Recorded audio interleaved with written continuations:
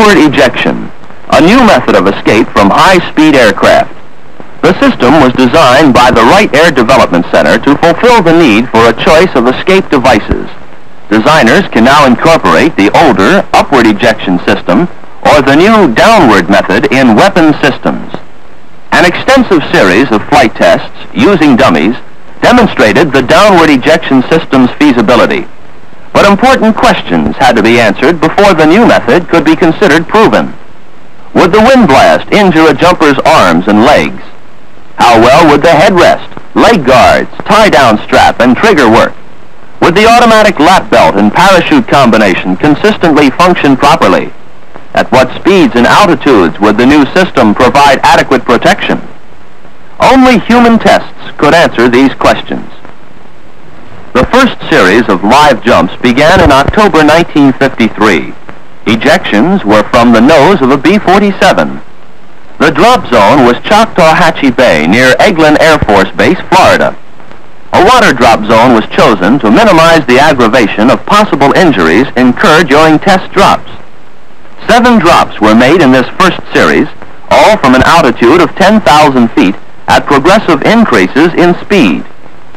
The ejections are shown in slow motion. Cameras in accompanying aircraft, on rescue crash boats, and in the test plane provided photographic coverage.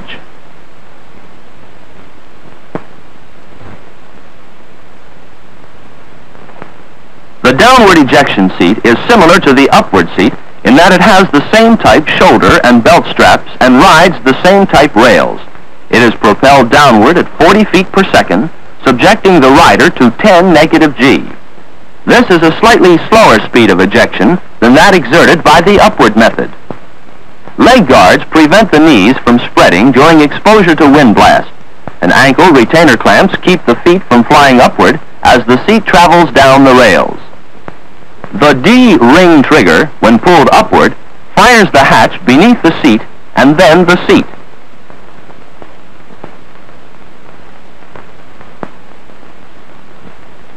Initiator cartridge fires the automatic lap belt after two seconds. A tie-down strap prevents body lift in ejecting. The first series of tests were to investigate performance of the seat in ejections at varying speeds. Jumps were made at indicated air speeds of 200, 260, 325, and 389 knots. All the jumps in this series were made from 10,000 feet. For economy reasons, the hatch was removed. All test jumps were made under conditions which would prevail in actual escapes. The only differences were the presence of an equipment checker who ensured desired test conditions and a recovery parachute on the seat.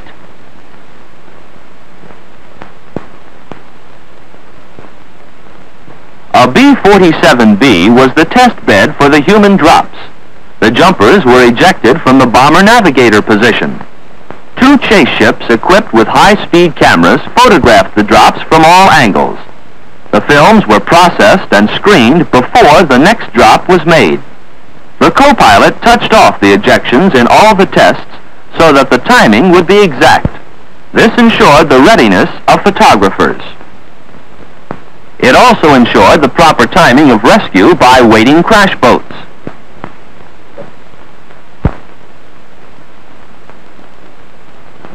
Three hundred twenty-five knots at ten thousand feet.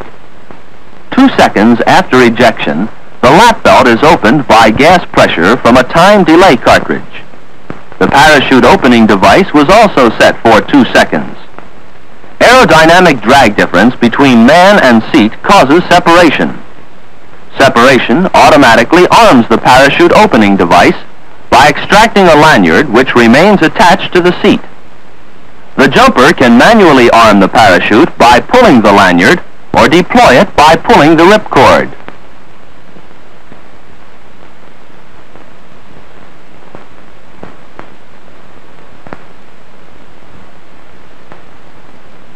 The downward ejection tests were used as a proving ground for personal clothing as well as for the seat and equipment. The Air Force partial pressure altitude suit and helmet was proved in these tests to be absolutely safe at speeds up to at least 389 knots. The luminous red coverall was worn to aid in photographic analysis.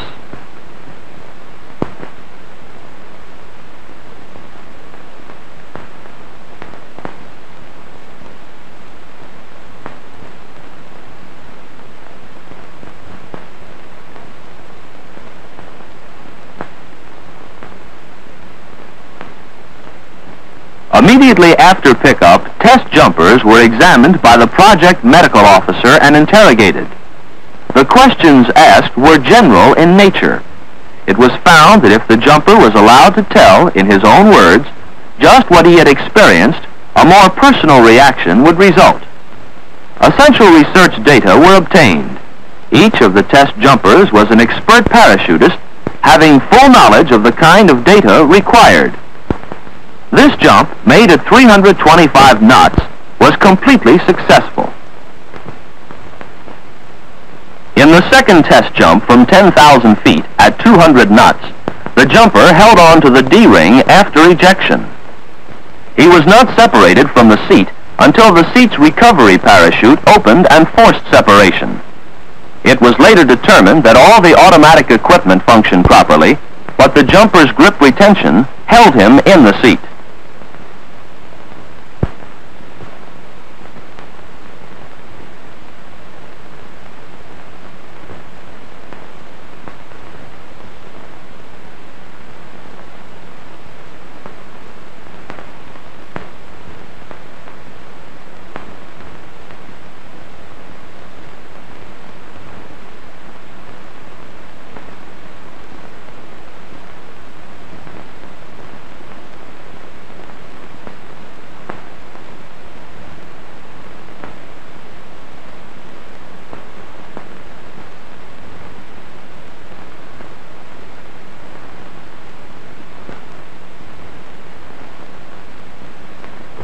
The jumper's retention of grip prevented his own parachute from being armed until deployment of the seat parachute pulled him away.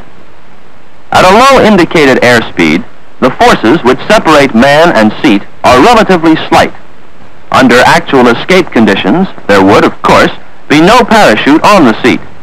In low altitude, low speed ejections, manual control should be used as soon as possible after ejection. In the first ejection at 389 knots, the jumper's hand slipped off the D-ring trigger. His arms flailed violently. His loss of grip could not be explained, and photographs were inconclusive.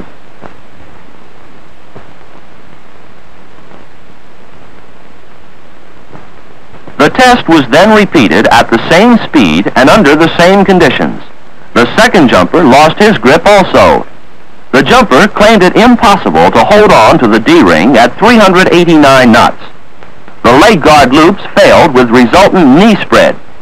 Serious leg injury was prevented by the ankle retainers withstanding the strain. Both jumpers were injured. Immediately upon entry into the airstream, their arms were whipped violently. They suffered almost identical injuries. Dislocation of an elbow, a chip fracture in the upper right arm, and arm lacerations.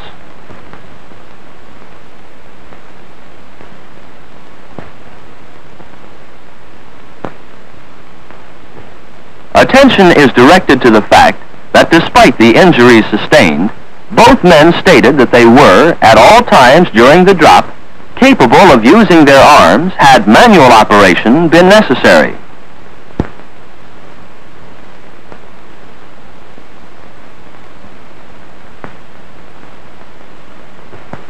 Tests of the downward ejection system were halted at this point, and work began on modifying the leg guard system and D-ring assembly in order to cure the deficiencies revealed.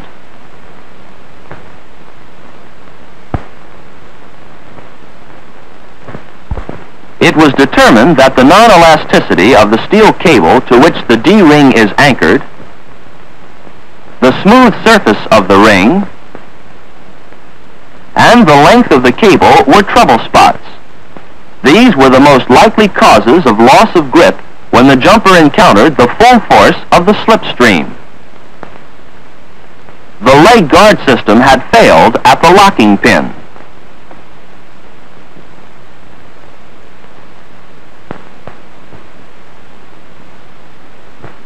This is the seat as modified.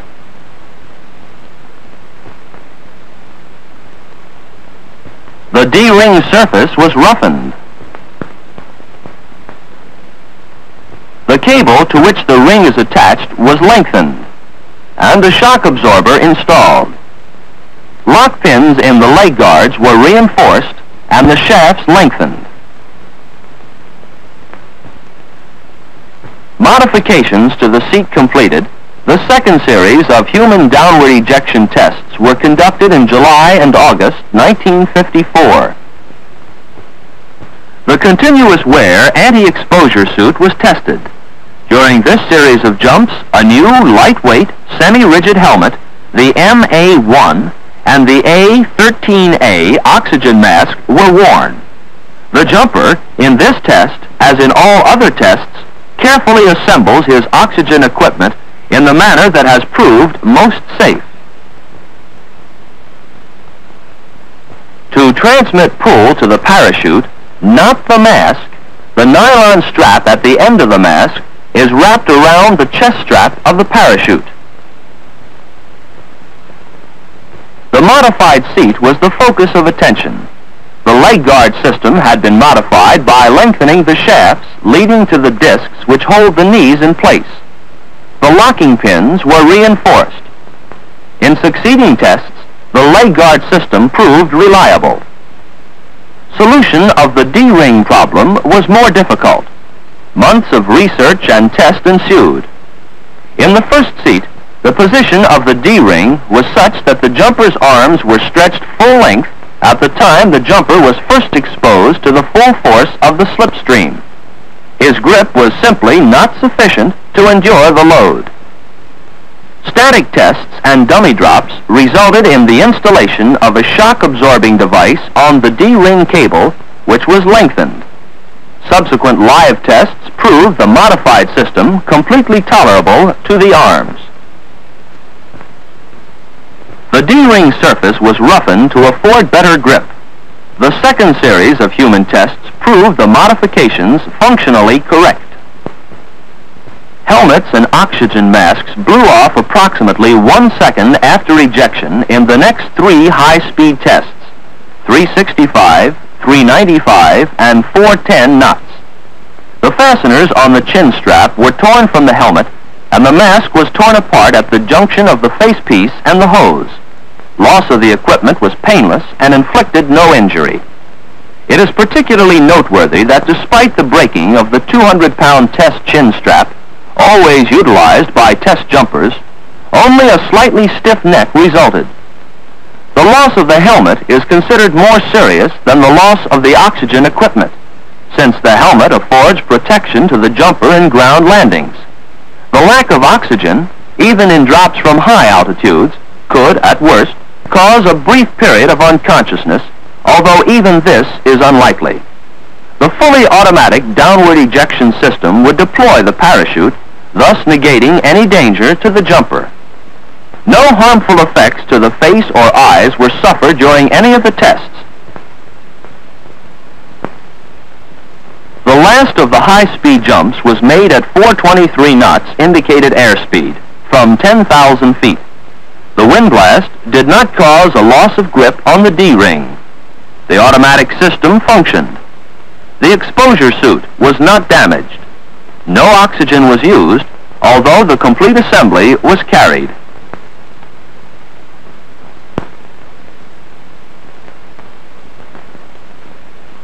For this test, the directional snap fasteners had been removed from the oxygen mask and replaced by two screw fittings.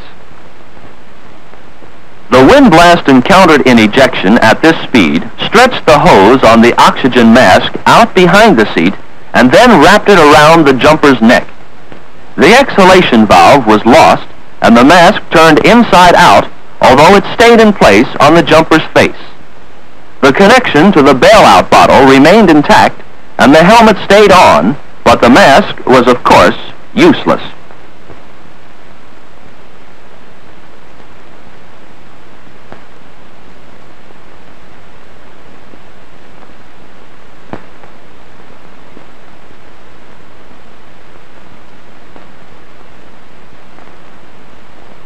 The jumper described the experience as confusing but painless.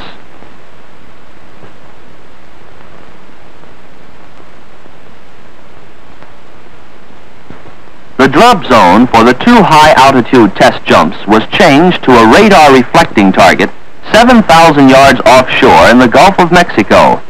The drop points were determined by ground radar installations on the beach. These final jumps were made from 45,200 feet at 218 knots. The first jumper wore a P-3 helmet and visor. He fell for 120 seconds before his chute opened. He spun violently, more than 90 revolutions per minute for seconds, but was able to do every necessary task before landing in the water. During the remainder of the day, he experienced moderate attacks of vertigo, but no other complaints or new findings resulted.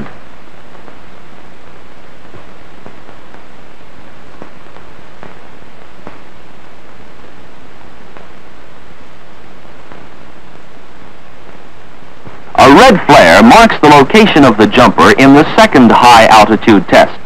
He wore a lightweight leather helmet without a visor there were no ill effects or loss of vision. He fell 130 seconds before his parachute deployed at 11,000 feet. He found that he could arrest spin by flailing his arms and legs wildly.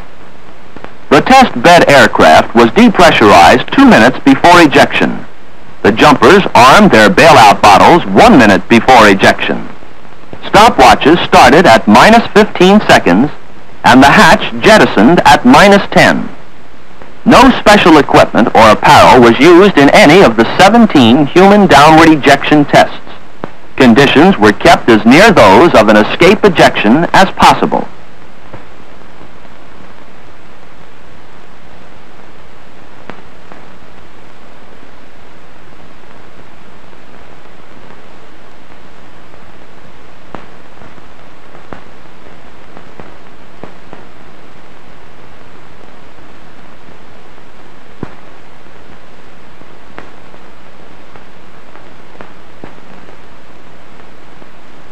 The downward ejection tests prove that automatic ejection equipment is a must for high-speed, high-altitude aircraft. It was also demonstrated that the downward ejection system in its present form provides safe egress at speeds up to at least 425 knots indicated airspeed and up to altitudes of at least 45,200 feet.